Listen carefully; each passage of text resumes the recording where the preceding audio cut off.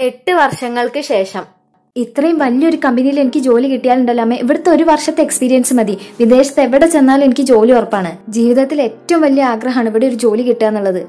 അതുകൊണ്ട് അമ്മ പ്രാർത്ഥിക്കുക ഇടയ്ക്ക് എന്നെ വിളിക്കേണ്ട കേട്ടോ. ഇന്റർവ്യൂ കഴിഞ്ഞിട്ട് ഞാൻ അങ്ങോട്ട് വിളിക്കാം. ആ ശരി. എന്നാ ഞാൻ വെക്കുകയാണേ എവിടെയോ കണ്ടു നല്ല പരിചയം ഉണ്ടല്ലോ അവളെ. സൗമ്യല്ലേ അത്? ഇവളെന്താ ഇവിടെ ഓ വല്ല അടിച്ചു വരുന്ന കിട്ടി കാണും എടീ സൗമ്യേ. ഹായ് അമ്മു. നീ എന്താ അവിടെ? നിനക്ക് വല്ല അടിച്ചു വരുന്ന പണിവെല്ലാം കിട്ടിയോ ഇവിടെ സോറി ഞാൻ ഒന്നുകൊണ്ട് പറഞ്ഞല്ല ഇവിടെയൊക്കെ നല്ല ജോലി കിട്ടണമെങ്കിൽ അത്യാവശ്യം നല്ല വിദ്യാഭ്യാസം വേണമല്ലോ. നിന്റെ അച്ഛൻ എന്തായാലും ക്യാഷ് ഇല്ലാത്തതുകൊണ്ട് തുടർന്ന് പഠിപ്പിച്ചിട്ടുണ്ടാവില്ല എന്ന് എനിക്കറിയാം. അതുകൊണ്ട് ചോദിച്ചാട്ടോ ആ നീ ഇവിടെ ഇന്റർവ്യൂവിന് വന്നായിരിക്കില്ല? എന്തായാലും ടെൻത്ത് കഴിഞ്ഞപ്പോ പഠിക്കാനൊക്കെ തുടങ്ങിയല്ലോ. അയ്യോ ഞാൻ പഠിപ്പിയൊന്നുമല്ല. ഞാൻ പണ്ടത്തെ അതേ ഉഴപ്പ് പിന്നെ എന്റെ അച്ഛന്റെ കയ്യിൽ ക്യാഷ് ഉള്ളതുകൊണ്ട് എനിക്ക് പഠിക്കേണ്ട ആവശ്യമൊന്നുമില്ല. ക്യാഷ് കൊടുത്തിട്ടായാലും ഡിഗ്രീന്റെയും പി ജിന്റെയും ഒക്കെ സർട്ടിഫിക്കറ്റ് ഞങ്ങളുടെ വീട്ടിലെത്തും.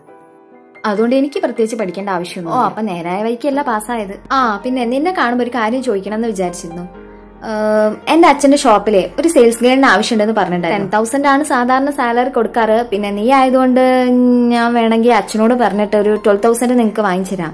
നീ പോവുക അവിടെ? നമ്മൾ തമ്മിൽ ഒരു കടം ബാക്കി ഇരിക്കുന്നുണ്ടല്ലോ. നീ എനിക്ക് ടെൻത്തിൽ എക്സാമിന് കാണിച്ചതുകൊണ്ടാണ് ഞാൻ പാസ്സായത് എന്നുള്ള ഒരു കുറച്ചിൽ എനിക്കുണ്ട് അപ്പൊ അതിനുള്ള ഒരു പ്രായശ്ചിത്തായിട്ട് കൂട്ടിയാൽ മതി. ഇപ്പൊ എന്തായാലും നിന്റെ അച്ഛന്റെ ടെക്സ്റ്റൈൽസിൽ എനിക്ക് ജോലി വേണ്ട. ഓ പൈസ ഇല്ലെങ്കിൽ അഹങ്കാരത്തിനൊരു കുറവില്ല വെറുതെ അല്ല നീയൊന്നും ഗതി പിടിക്കാത്ത അയ്യോ അഹങ്കാരമൊന്നുമല്ല. അഹങ്കാരം കാണിക്കാൻ നമ്മളാര്?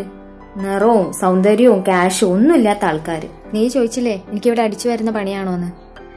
ദൈവം സഹായിച്ച് എനിക്കിവിടെ അത്യാവശ്യം കുഴപ്പമില്ലാത്തൊരു ജോലിയുണ്ട്.